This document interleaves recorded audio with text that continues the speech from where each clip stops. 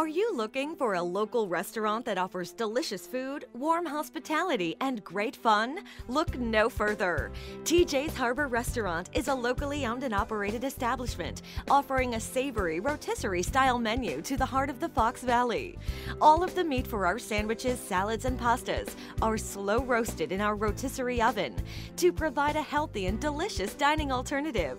Our location boasts fantastic views of Lake Winnebago from our outdoor patio and viewing deck, making us the perfect destination for couples looking for a romantic evening out and for parties of eight or more.